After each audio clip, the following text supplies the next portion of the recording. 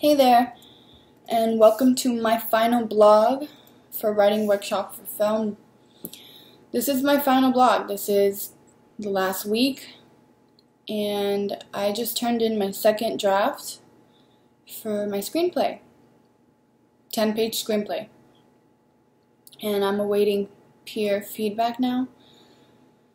And I'm pretty wiped out. This month really took a lot from me um, learned a lot about my voice and about my characters in general.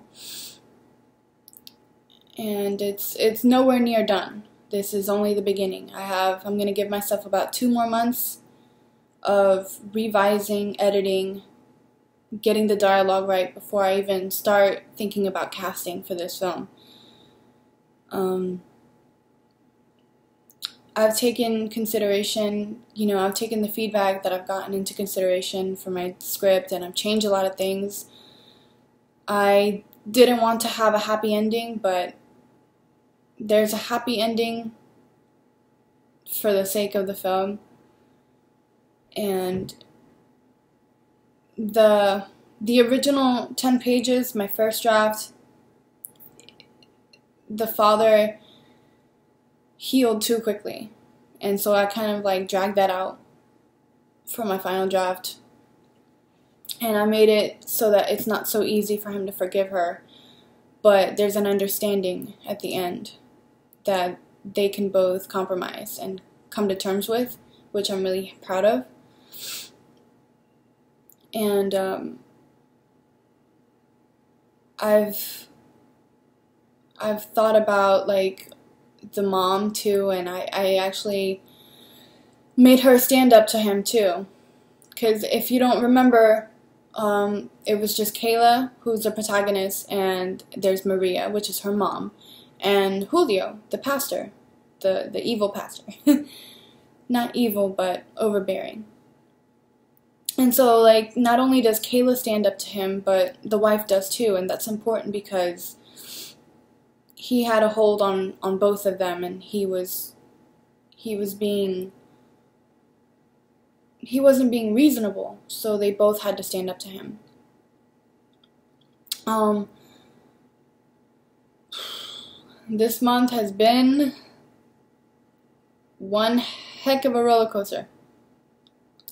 Um i've racked my brain about what kind of ending i should have and giving feedback and I've you know what I've gotten actually a lot better with editing and it's funny because I was able to work on one of my husband's scripts and I brought it up from seven pages to five which was really cool for me because I can tell that I'm getting better at word economy and I can do that for my friends too. You know when I'm giving peer feedback I can help them and I'm getting better at editing and I'm progressing that way and that's good for me that's definitely a good thing, um, a good skill to have.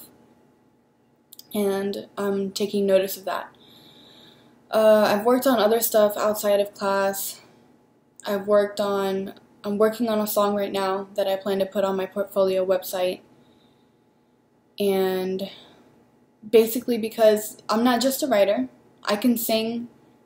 I don't need to sing for the whole world, but I would like to sing for someone. Um, I've read a lot of scripts, uh, a lot meaning more than usual, and I've read. I started reading Dumb and Dumber. I have to finish that. I read um, Ace Ventura: Pet Detective. I started reading the Shawshank Redemption script, and that's really good so far. Um, what else did I finish? I finished uh, Kramer vs. Kramer. Uh, I think it was a 1980s film.